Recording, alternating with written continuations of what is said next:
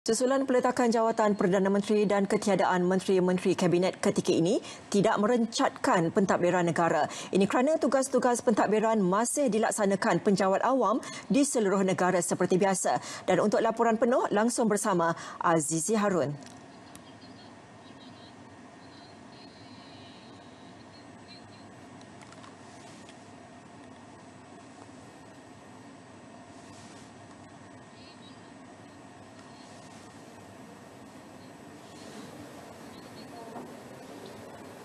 Terima kasih Nolela. Uh, umum mengetahui bahawa kemulut yang uh, berlaku sekarang dalam uh, pentadbiran negara uh, merunsingkan tetapi uh, ada kepastiannya bahawa pentadbiran berjalan lancar dan untuk mendapatkan lebih lanjut lagi uh, berkaitan dengan uh, bagaimana uh, kelancaran ini akan berlaku kita bersama dengan orang yang paling penting sekali iaitu Ketua Pengarah Perkhidmatan Awam Uh, Dato' Muhammad uh, Khairul Adib uh, Abdul Rahman untuk kita lebih terang eh, dengan isu yang berlaku ini dan juga kaki tangan kaki tangan awam yang berkhidmat dalam pentadbiran kerajaan Datuk. Okey, terima kasih.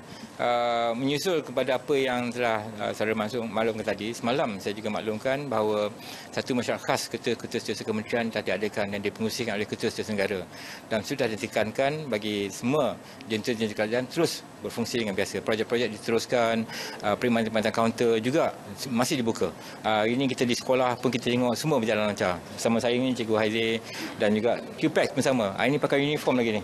Uh, maknanya tiada apa-apa yang yang yang menjejaskan perkhidmatan kita uh, dalam keadaan isu semasa ini. Jadi perkhidmatan uh, yang diterajut di perkhidmatan awam berterusan. Maknanya uh, masyarakat boleh uh, uh, pasti bahawa uh, uh, perjalanan uh, kaki tangan awam tidak uh, tidak terpesong dengan uh, isu yang sedang uh, berlaku ini dan berkhidmat uh, dengan uh, penuh disiplin. Betul. Uh, sebenarnya yang sering kita tekankan penjawab ini adalah apolitical dan neutral. Kita adalah jentera kerajaan. Uh, bila mana terbentuk kerajaan, kerajaan akan menentukan segala dasar-dasar dan garis panduan. Uh, yang kita berpandukan pada itu, dasar-dasar yang tidak ada dengan garis panduan. Uh, sekiranya terbentuk kerajaan baru, memerlukan dasar-dasar baru, kita juga berpandukan dasar-dasar semasa yang ada. Jadi bila mana berlaku keadaan semasa ini, kita masih berpegang pada dasar-dasar semasa yang ada. Jadi tidak ada timbul, tidak jelas dan tak tahu ke mana haluan kita. Because sebabnya kita masih ada instrumen-instrumen yang yang membantu, yang mendorong, yang membimbing kita dalam dalam tujuan kita. Jadi dalam hal ini uh, perkhidmatan-perkhidmatan kerajaan masih uh, bergerak seperti biasa. Uh, isu-isu yang berlaku di sekeliling kita sebenarnya adalah isu-isu yang melibatkan bidang politik dan tidak menjejas pemerintahan awam. Kami adalah jentera kerajaan. Sekali lagi Datuk, pesanan Datuk kepada seluruh kaki tangan awam bila berdepan dengan isu seperti ini. Pesanan saya adalah seperti mana biasa kita terus berkhidmat untuk negara. Kita kena memastikan negara kita terus aman stabil uh, perkhidmatan-perkhidmatan semua tidak terjejas.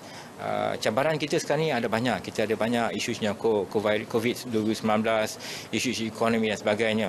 Uh, jadi kita tidak harus melibatkan diri dalam isu-isu yang bukan di bidang kita. Kita ditugaskan dan di, dan di, uh, diamanahkan untuk menjalankan arahan-arahan yang sedia ada. Jadi kita kena terus berkhidmat untuk negara. Memastikan negara kita terus aman, tentram dan juga maju ke hadapan. Datuk, terima kasih banyak kerana sudi bersama dengan uh, RTM. InsyaAllah kita jumpa lagi. Dan uh, kembali ke studio bersama dengan Nolela. Silakan.